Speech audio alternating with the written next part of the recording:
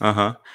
E me explica uma coisa, a gente vai chegar na questão dos do, do jogos pro PCD, mas por que que você foi jogar Minecraft? Era porque todo mundo jogava ou tinha uma É, razão era um especial? jogo, era um jogo, tipo assim, muito, como é que fala?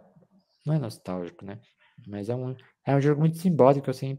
Foi o primeiro, Uhum. foi o primeiro tipo de conteúdo que eu comecei a consumir, sabe?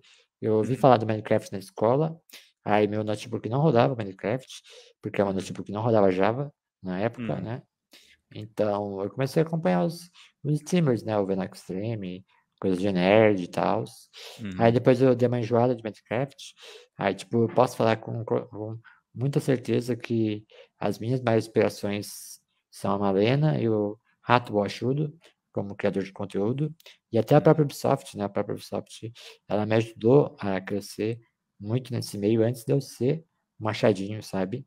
Eles Uhum. gravaram um vídeo comigo, invadindo a minha casa Legal. lá em 2015. Aí a Malena veio na minha casa, me deu presente de Natal, sabe? Então, Uhum. é, foi é algo muito nostálgico e muito simbólico, assim, para mim, sabe?